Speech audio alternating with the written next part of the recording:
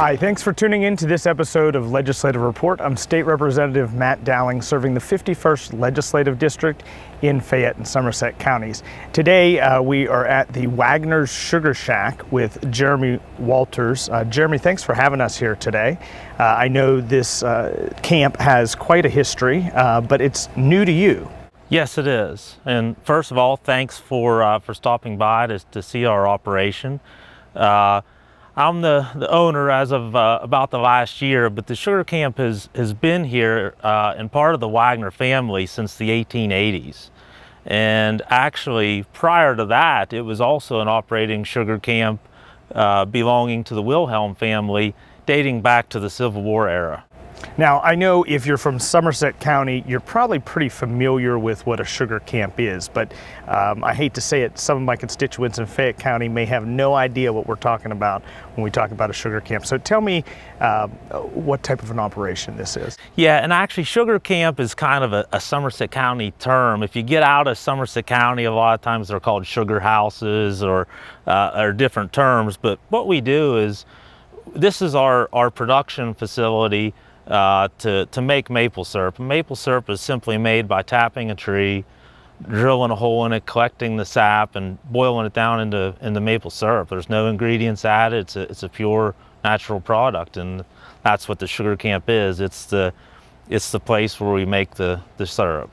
Now, right now we are in the uh, the season where we're collecting sap. Uh, it's a pretty good year so far? We've been fortunate. The past three years have been pretty tough, but the weather has cooperated really well for us so far this year.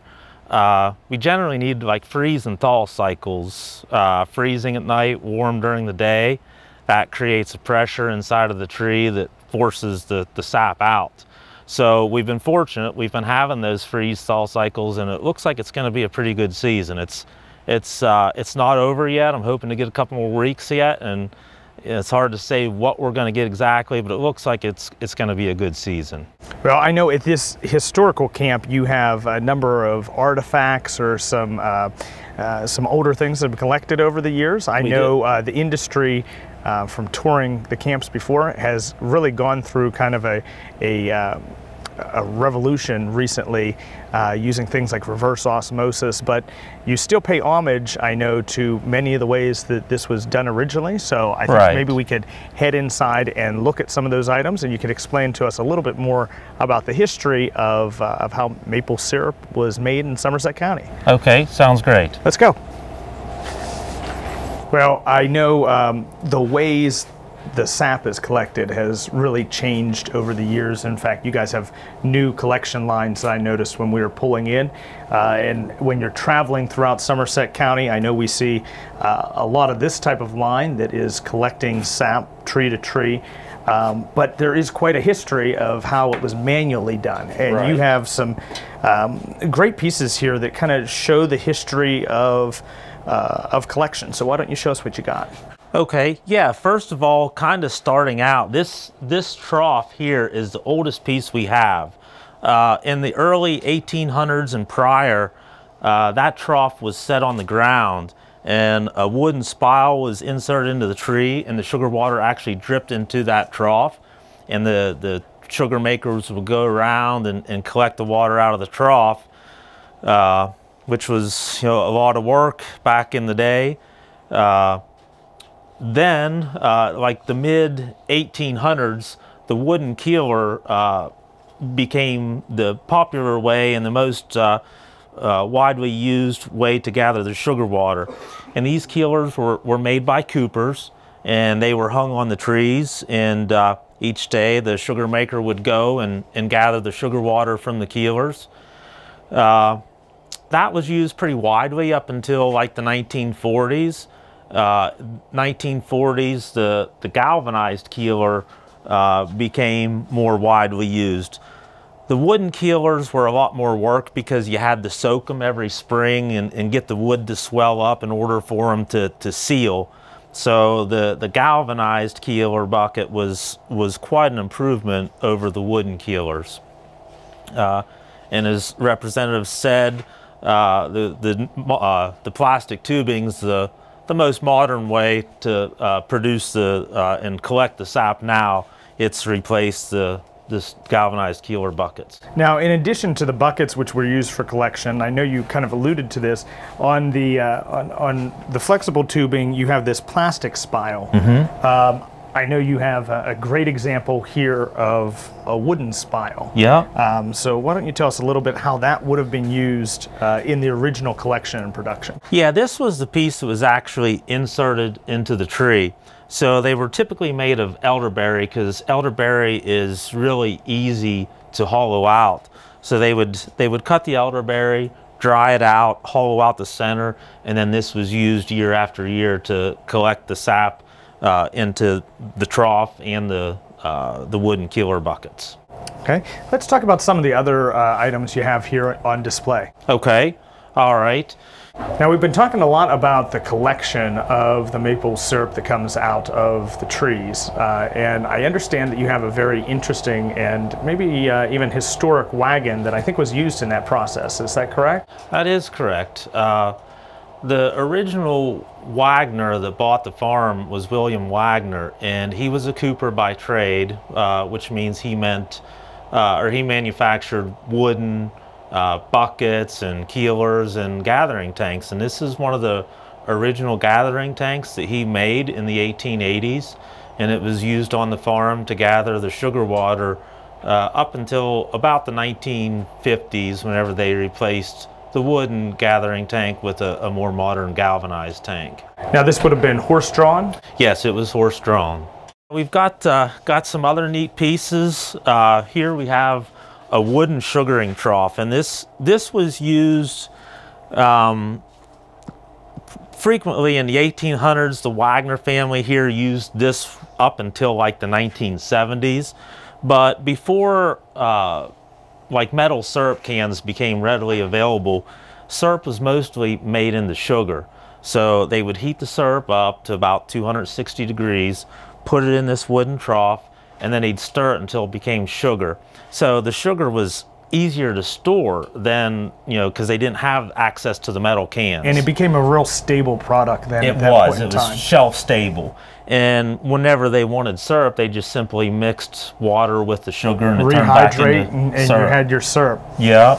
You can also, um, you know, use that sugar in your baking. Oh if, yeah. You know, uh, to substitute instead of regular uh, white sugar. Absolutely, it's uh, it's healthier than than the refined white sugars. Uh, uh, less calories per tablespoon per unit, uh, and it's you know it's it's a more natural product. Now, uh, you have a picture right behind you of the old sugar camp and, uh, and the next sugar camp. Why don't you tell us a little bit about those? Yeah, the, the top picture there is a picture of the farm taken in the 40s. And uh, you can see the, the horse team and all the wooden keeler buckets are set outside. And Mr. Wagner uh, is, is in the front of the picture cleaning out the keeler buckets and getting ready to hang them on the trees.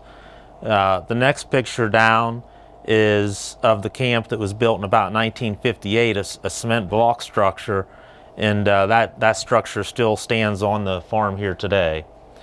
Uh, the modern camp, uh, or the more modern camp that we're in right now, this, this building was built in the early 1980s. Now, uh, before we head out, because we're, we're going to be visiting another camp today and learning a little bit more about the actual production, but I wanted to take a look at some of the items you have for sale here, some of the products that you make from the maple. Um, so why don't we head out to the showroom and uh, you can explain some of the products that you sell here. Sounds great. Now, we were already talking a little bit about the maple sugar and the process that was used and can still be used to uh, make maple sugar, but I see that that's a product you have for sale right here um, from, uh, from Wagner's. Uh, you have some other products as well uh, that I was hoping maybe you'd tell us about. This is your pure maple syrup. Yes. So tell us a little bit about this product. Well, there's there's several different grades of maple syrup uh, based on color and flavor.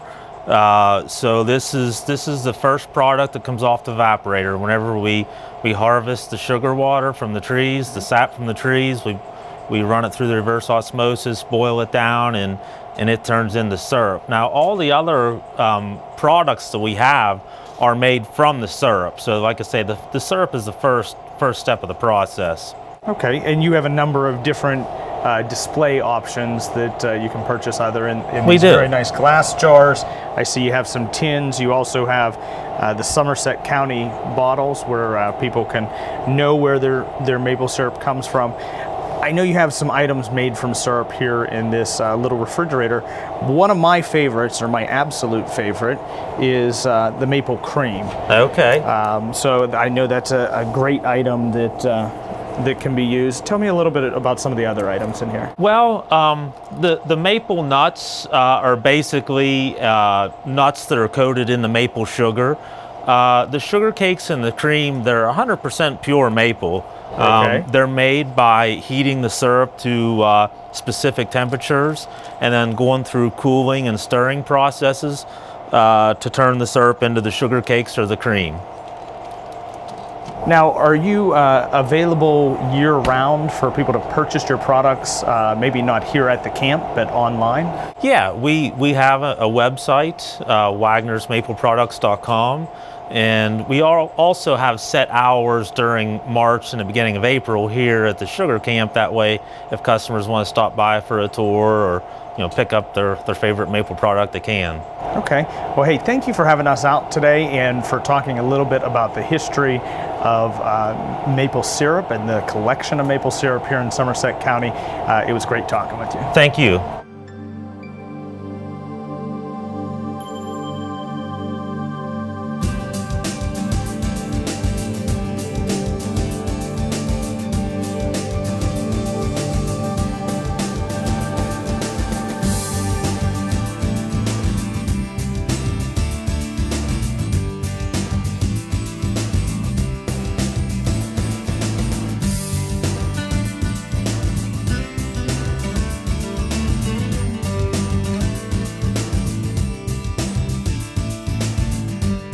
We are now at Milroy Farms, and I am with uh, Jason Blocher, uh, the proprietor of, uh, of this Sugar Shack, of this establishment. I am, yes. And um, we have been talking with a couple different producers in the area today uh, about the history of um, maple syrup and the collection of, uh, of, of syrup and, and how, uh, how it goes through different phases to be turned into some of the delicious things that you sell here at Milroy Farms and some of the other uh, locations around the county.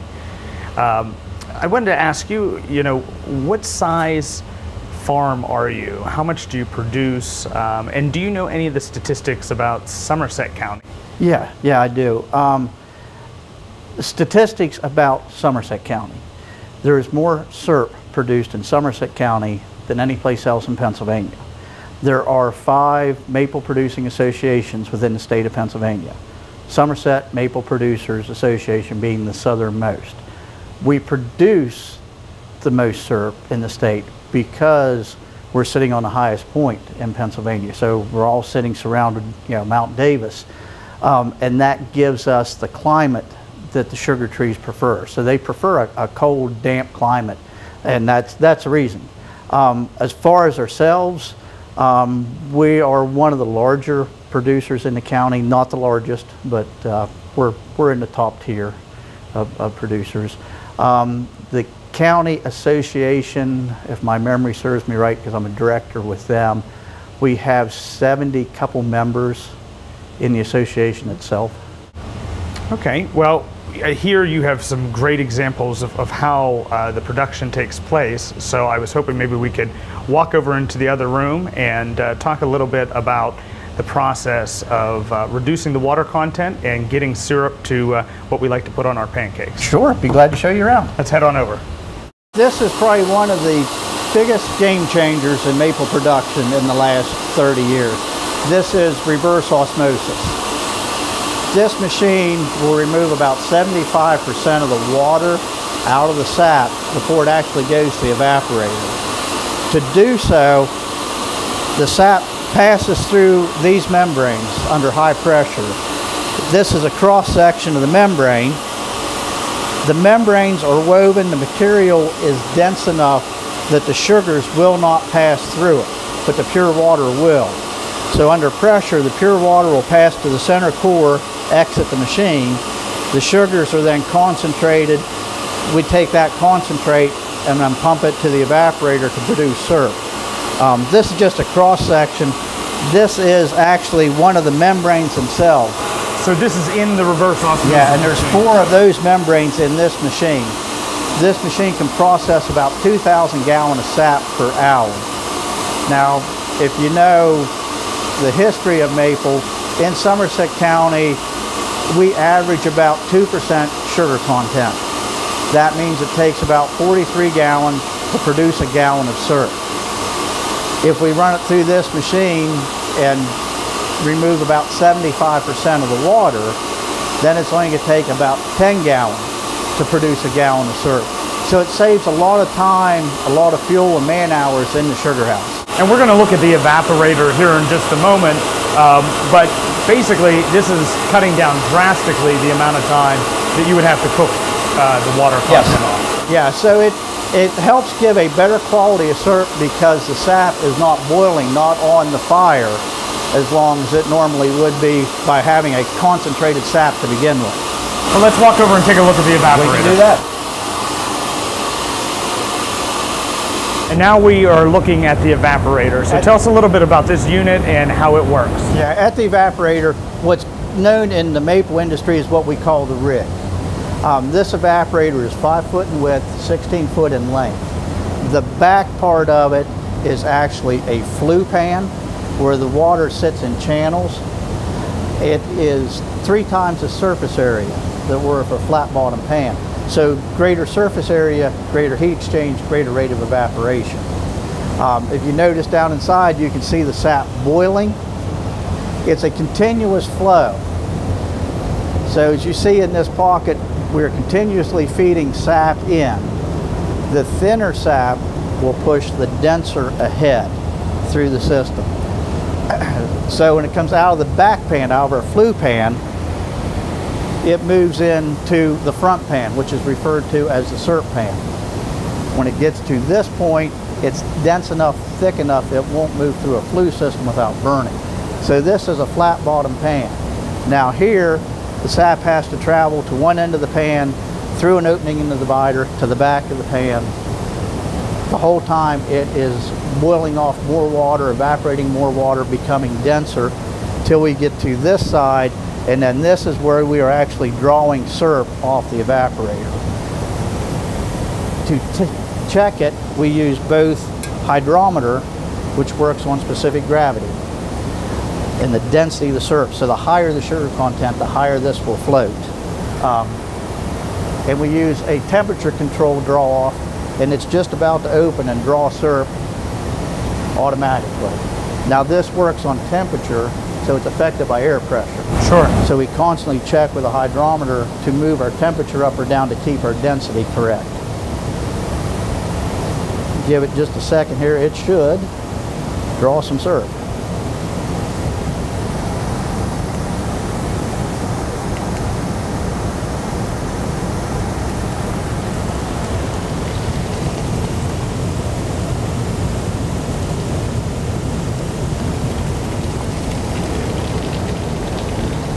So then we catch the dipper full of syrup, float our hydrometer in it,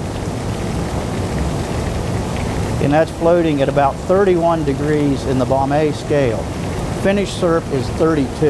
Okay. We take about a degree light here. Um, because we retail everything we can produce, we don't finish to precise syrup on the evaporator. It's too hard to control. We actually go through a finish step Okay. and then we'll finish in a batch process um, just so we have a greater quality control. Well, let's take a look at uh, at the area you finish in, and I know there's also a press you use Yes. in one of your final steps. Yep. So let's It's head out that way. room.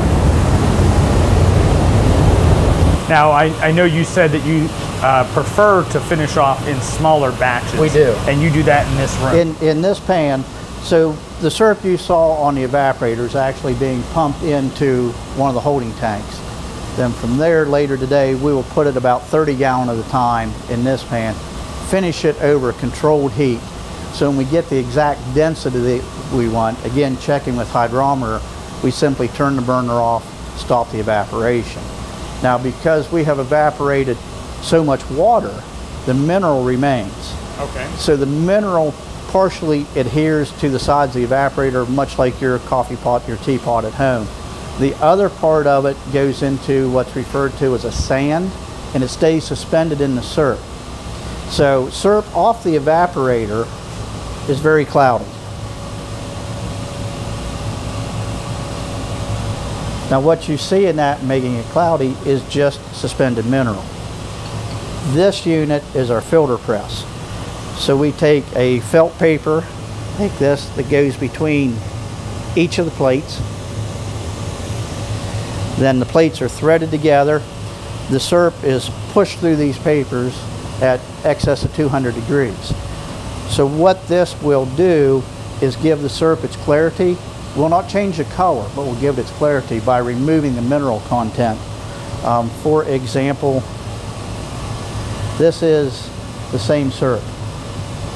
And it removes any of that cloudiness that removes exists the cloudiness. There's nothing harmful in the, in the cloudiness syrup. It's just mineral content. But what will happen over time, because it's heavy, it will settle to the bottom of the container that if you package for retail sale, whoever gets the last of the syrup on their pancake is going to get more of a gritty substance. Little grit with it. Little grit with it. So, you know, you want to package a high quality product, so you want to remove that mineral out of it. And, and just the look, especially if you're going to bottle that in something glass, Yes, is uh, much, huge. much huge more difference. appealing. Well, I know earlier uh, in the afternoon when we first arrived, you were making some candies out in the retail space, were. out in the kitchen. I'm going to go out and see how those turned out, and then uh, talk a little bit more about Milroy Farms and uh, and the history and your family. Uh, so let's head out there to the retail Yep, space. the candy should be cool by now.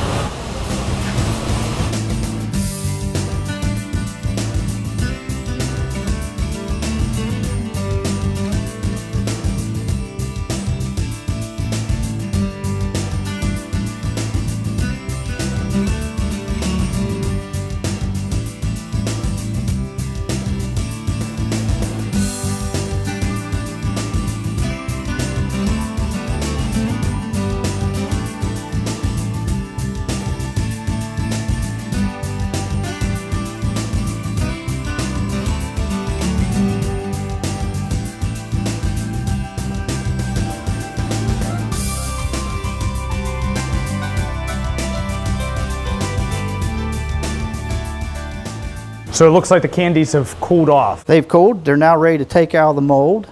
So we take the rubber molds, put them on the rack, and then we just press out the individual candy.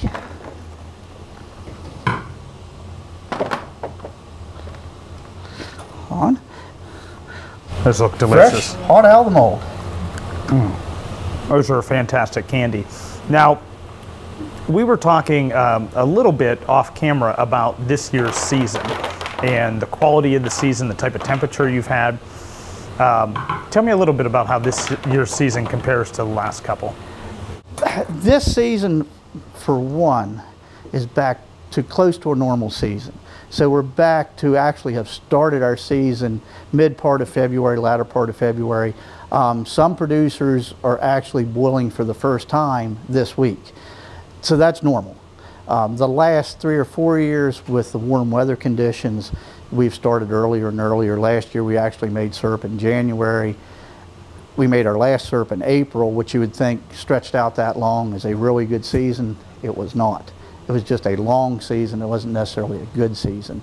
Um, ideally, what we want are weather conditions with highs in the 40s, lows in the 20s.